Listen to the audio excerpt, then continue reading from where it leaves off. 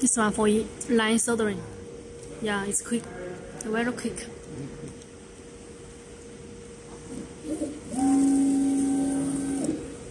Okay. Only the Yeah.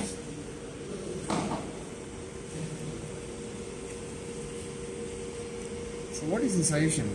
The point solder or the line solder?